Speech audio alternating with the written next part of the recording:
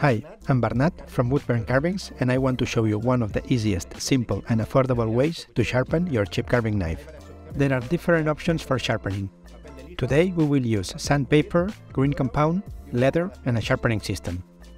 I've already cut the sandpaper to the size of my sharpening system from spoon carving with Tom. What's good about glass is that it will always stay flat. We've also got green compound, a piece of leather glued to a plywood piece,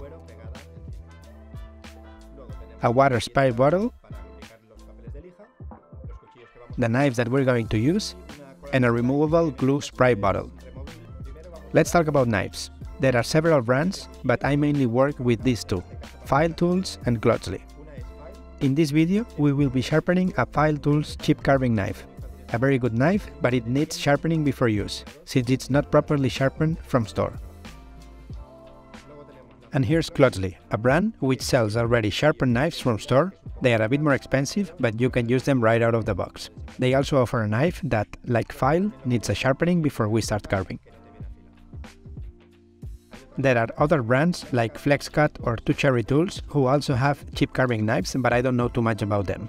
We will see two options. We will sharpen a Pfeil tools knife which has never been sharpened, and later we will talk on how to sharpen a knife that's already been sharpened. This is a brand new knife, so we will start with a 400 grit sandpaper. We use the spray glue to apply the product and place the sandpaper on top of the glass tile or sharpening system.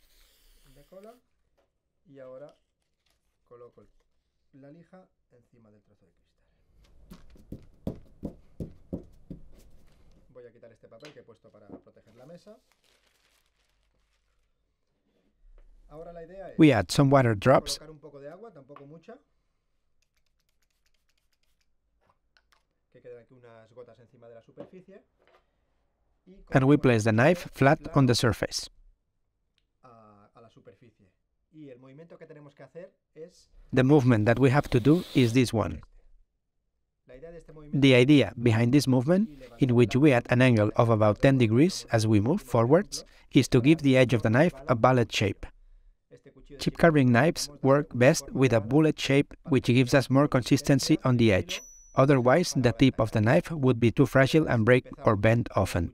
We begin by placing the knife flat on the surface and as we move forward, we rock the knife to a 10 degree angle at the end of the slide. When sharpening, we have two options. We can slide the knife one way, pull it up and repeat the process or make back and forward movements. When we make back and forward movements, at some point the knife might scratch the sandpaper. With practice, we should be able to avoid it most of the time. Let me show you how it's done. I'm adding a 10 degree angle as I move forward and on the way back I put the blade flat to the surface at the starting point.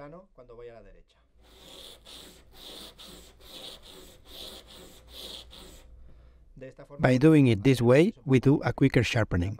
The most important part of the sharpening is the burr. The burr is the excess of material that we get on the other side of the edge as we abrade the metal on one side. As we sharpen our knife, we abrade the metal from this side of the knife and the excess is going on the other side.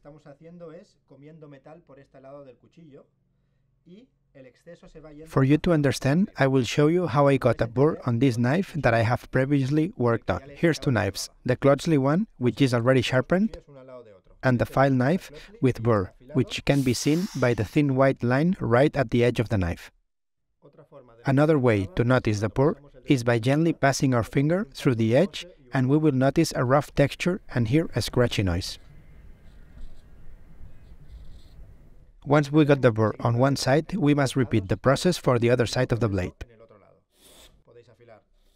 I will sharpen the knife making back and forward movements. You can try whichever is easier for you.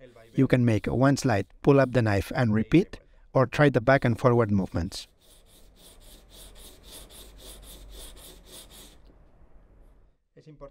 It's important to notice the burr on all of the edge of the blade.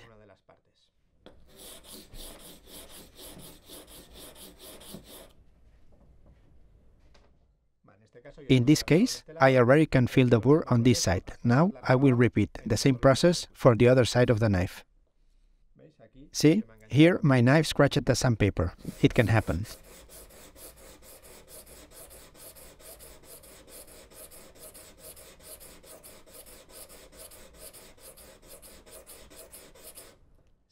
I keep adding the 10 degrees angle as I make the back and forward movements.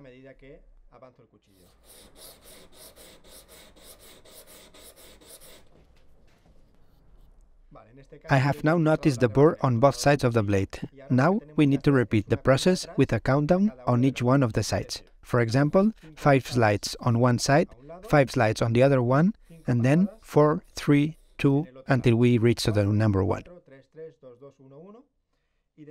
This way we end up defining the edge of the blade. What we achieve by this countdown is to make the burr dense from side to side of the edge. As we move to higher grit, the burr will slowly disappear.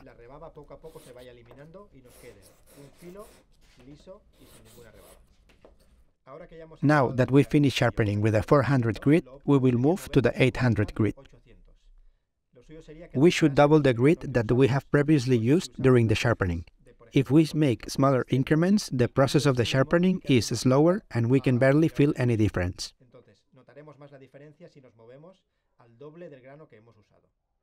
I want to show you how easy it is to clean the glass tile if we use a removable glue spray.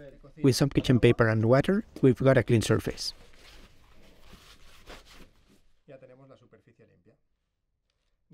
Now we will repeat the same process with the 800 grit sandpaper.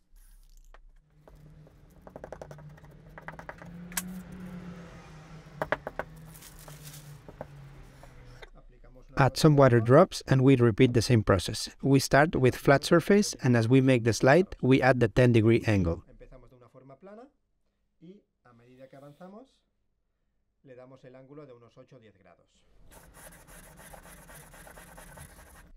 It is important to check that the surface we're using is completely flat and avoid any kind of tiny materials that could affect or modify the sharpening surface. I now feel a slightly less noticeable burr since I've used a higher grit, which allows me to move to the other side of the blade.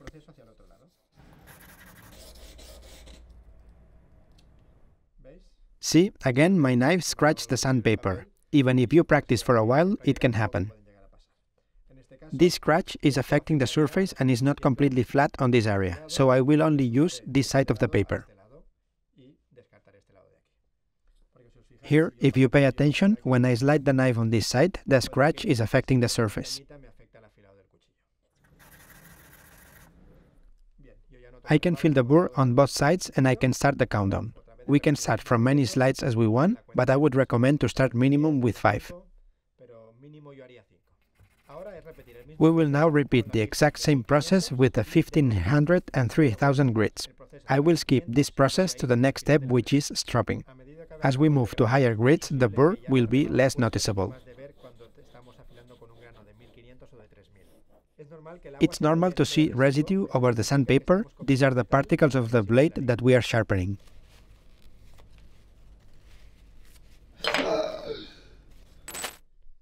As you can see, I cut myself. Uh, I wasn't paying attention while cleaning the knife, so be careful and take care while handling sharp knives. Let's move on. The last step to have a properly sharpened knife is to strop. Leather has two sides, grain side and flesh side. In this system, we have the flesh side already glued onto the plywood piece.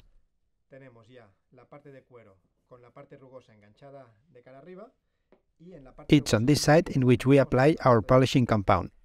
In this case, we are using green compound. There are other polishing compounds in the market. There are some that come as a paste, and by applying a few drops to the leather, we are good to go. Polishing compounds and pastes are slightly abrasive and they help us to remove any bits of remaining burr and define and polish the edge of the blade. Contrary to the sharpening process, when stropping, we will keep the knife flat during the whole slide. We do not add any angle whatsoever while stropping.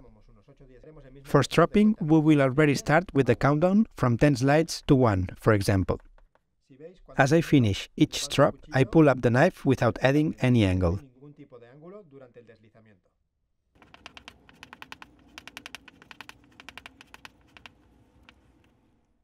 I've already completed the countdown on the flesh side, Now I will repeat the process on the grain side, without adding any product. While stropping, we should apply medium pressure.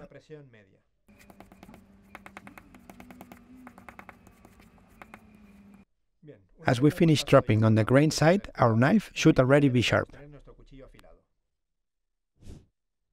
Now that I've shown you how to sharpen a chip carving knife, I will give you some observations. If I forgot anything, we can talk about it in the comments. If we have a knife that's already been sharpened, we can start sharpening from a 800 grit. If we have a damaged knife, we should indeed start with a smaller grit, such as 400.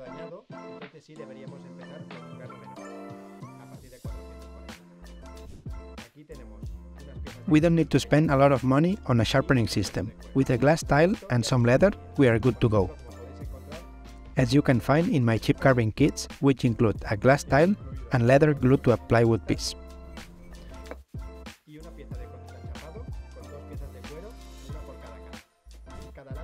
Each sandpaper sheet can be used once. As we sharpen, we remove the grit from the paper and it becomes less effective. As we are carving, if we notice the knife could cut better, we can always strop it every once in a while and it will improve the cutting experience. I personally have learned a lot from these people. Thanks to the content that they've shared on social media, I've learned how to sharpen my knives and tools. After all this process and cutting my finger, I hope that you understood how to correctly sharpen a chip carving knife. For any questions, you can always reach out to me and see you soon.